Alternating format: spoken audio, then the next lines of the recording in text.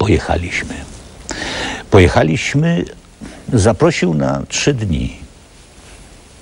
No więc z żoną, a żona, ja wiem, no ojciec na szczęście nie ma żony i to bardzo dobrze.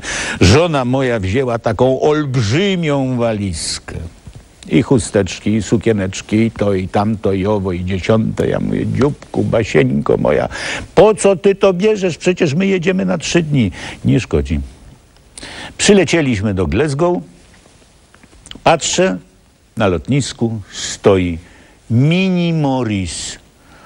Państwo wiedzą, jak wygląda Mini Morris. Taki maleńki samochodzik. Jak ojciec, ksiądz z Glasgow zobaczył tę olbrzymią walizkę, to już chciał zapuścić motor i uciec, bo myślał, żeśmy przyjechali na cały rok. Tak to było. Ale dlaczego o tym mówię? No więc kiedyś idąc, yy, bo jeździliśmy po okolicach, chcieliśmy zobaczyć jezioro Loch Ness z tym smokiem.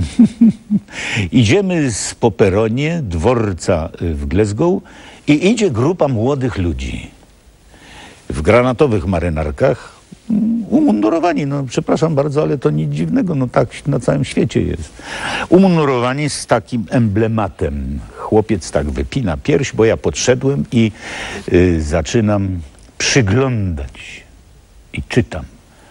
I tak myślę sobie, coś mi ta dewiza jest znajoma, a tam jest napisane ad majoram natus sum. Czyli co? Nie musimy chodzić z pochyloną głową, bo to jest dewiza naszego polskiego księdza, jezuity Stanisława. I Do wyższych rzeczy. do wyższych rzeczy jestem stworzony. Skąd ojciec to zna? Coś nieprawdopodobnego. Niektórzy się mnie pytają, co to znaczy do wyższych rzeczy. Ano do wyższych rzeczy, nie do niższych. Nie do niższych. Nie do przeklinania, nie do plucia. Już nie będę mówił, jakie są niższe, ale wyższe rzeczy są wspaniałe i cudowne. I tam w Glasgow właśnie jest szkoła, która ma te właśnie dewizy. To mi też zostało z tych lat. Chciałbym jeszcze dotknąć, e, zanim też dopuścimy do głosu naszych słuchaczy, którzy pewnie e, o wiele, w wielu sprawach chcieli wypowiedzieć o swoich też pewnie radości spotkania e, z panem Januszem Zakrzeńskim w naszym studiu.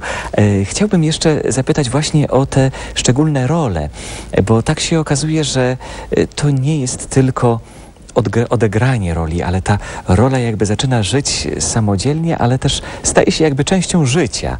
Yy, no, myślę tu mm, o, o, o całej historii z Nadniemnem i z Benedyktem Korczyńskim i tymi doświadczeniami yy, i, i, i nawet wyprawami na wschód w te miejsca. Ojcze kochany, y, ile my mamy czasu? No trochę mamy. Trochę mamy? Nie, nie, bo to, bo to się zakrawa, że możemy siedzieć do rana. Te, y, to wielka przygoda z Benedyktem Korczyńskim i z Nadniemnem. Uwielbiam tam jeździć. Ja y, nigdy nie byłem nad Niemnem. Nigdy, podkreślam, nigdy nie byłem nad Niemnem. Kręciliśmy film nad Bugiem. Nikt nie poznał, że to jest kręcone nad Bugiem, a nie nad Niemnem. Dopiero y, w 1990 chyba roku y, na ulicy spotkałem mojego przyjaciela Janka Fipka, y, brata mniejszego, kapucyna z ulicy Miodowej wtedy ja mówię, Jasiu, co słychać? A on mówi, a ja jestem na Białorusi. Ale gdzie? W Słonimie. Myślę sobie, Słonimie, Słonimie, Słonimie? Toż przecież ja, grając Cześnika, mówiłem taki tekst.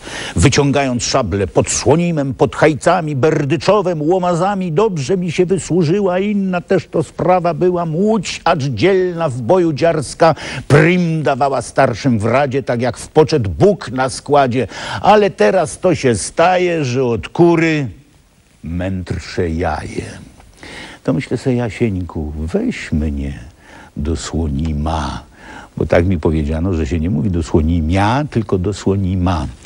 No i Jasio mnie wziął i tak zawędrowałem nad Niemen do Bohatyrewicz i bardzo byłem ciekaw, czy Eliza Orzeszkowa nie oszukuje mnie, pisząc o tych dwóch kamieniach z legendy o Janie i Cecylii, czy one rzeczywiście leżą nad brzegiem Niemna. Dotarliśmy tam i idę i są te dwa kamienie z legendy o Janie i Cecylii, otoczone płotkiem, a opiekował się tym miejscem ksiądz Radomski. On w tej chwili jest w Łunnej. Może mnie słucha teraz. Jeżeli tak, to szczęść Boże, księże. On się opiekował tym, tym miejscem, tymi kamieniami z legendy o Janie i Cecylii i ja tak stoję i myślę sobie, rzeczywiście Orzeszkowa mnie nie oszukiwała. I tak mi się wydawało, że z daleka no nie tak znowu z daleka, bo ten, te kamienie leżą niedal, y, dosłownie parę, y, paręnaście, kilkanaście metrów od Niemna, że słyszę y, głos Just, Janka i Justyny i śpiew. Ty pójdziesz górą, ty pójdziesz górą, a ja doliną. Ty zakwitniesz różą, ty zakwitniesz różą, a ja kaliną i tak dalej, a tam jest jedna zwrotka taka, ty będziesz, księ... ty będziesz panną, ty będziesz panną na wielkim dworze, a ja będę księdzem. a ja będę księdzem. Toruniu. Proszę Państwa, no więc y, takie było moje spotkanie tam z, tym, z tymi bohatyrewiczami. No nie chcę wspominać, bo byśmy naprawdę, no... Ale długo. Chciałbym taki epizod yy, tak. wywołać tak. spotkania z osobą, która rozpoznała Benedykta Korczyńskiego.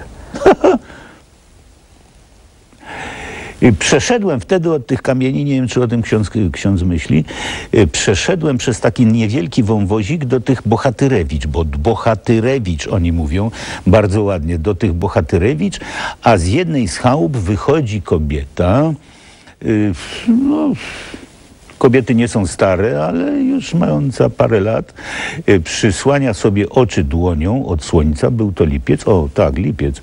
I przygląda mi się, przygląda i powiada Bożeż ty mój Benedykt Korczyński, a ja Jadwiga Kopczewska z domu Bohatyrewicz.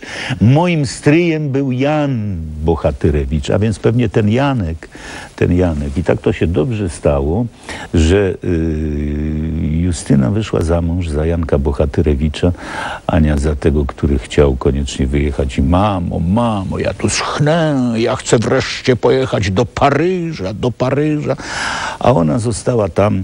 No i chyba dobrze się stało. Bożeż ty mój Benedykt Korczyński. To tam, to ten, tego, ten.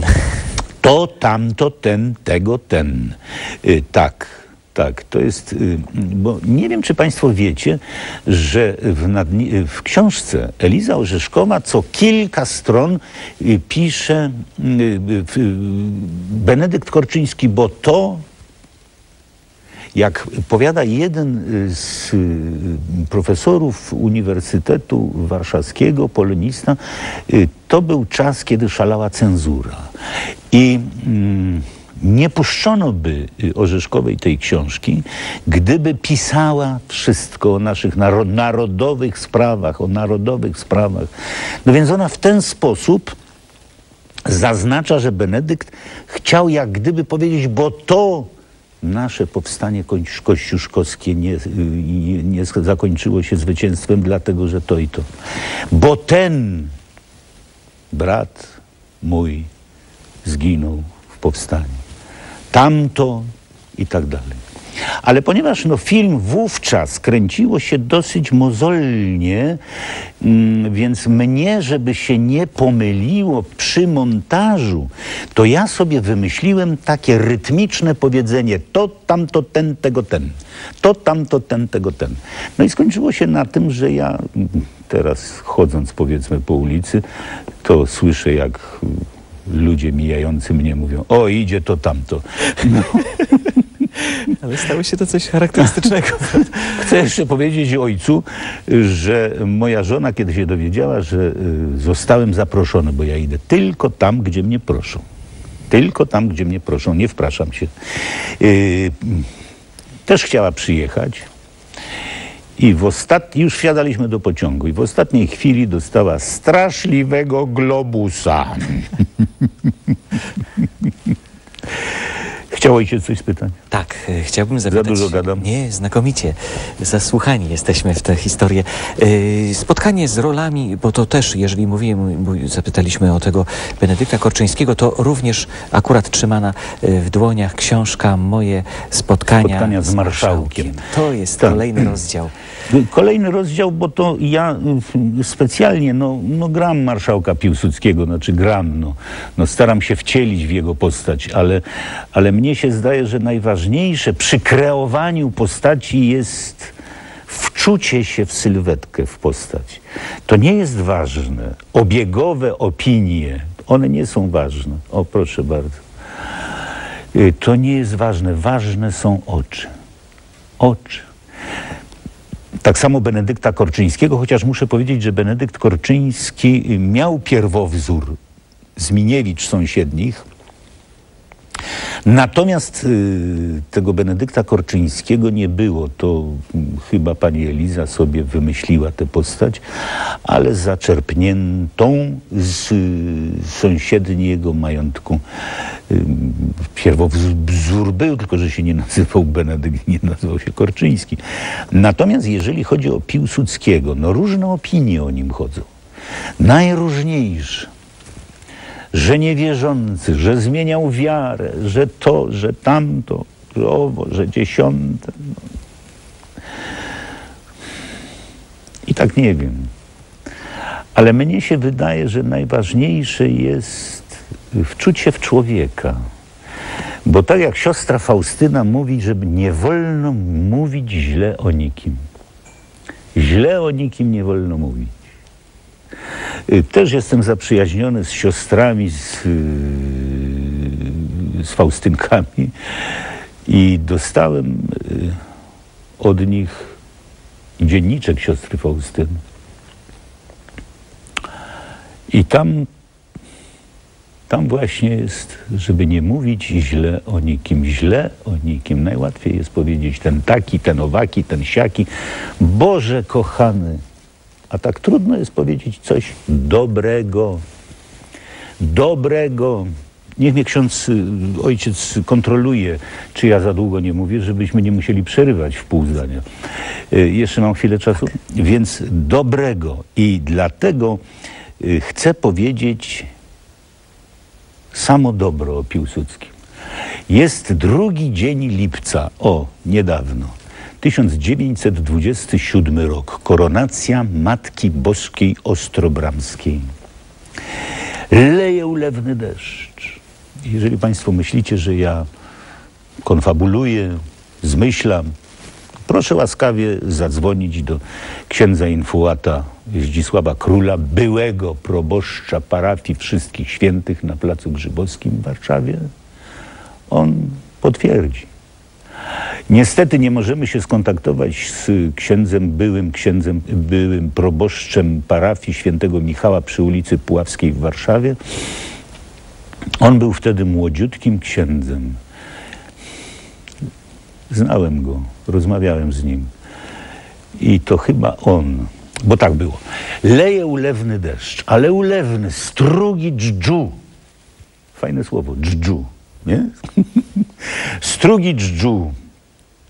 I proponują, żeby całą uroczystość przenieść do katedry wileńskiej. Piłsudski się sprzeciwia. Stoi pod bramą, pod ostrą bramą i jeden z księży, podejrzewam, jak mówią wtajemniczeni, był to właśnie ksiądz Piotrowski. Rozpostarł nad nim parasol.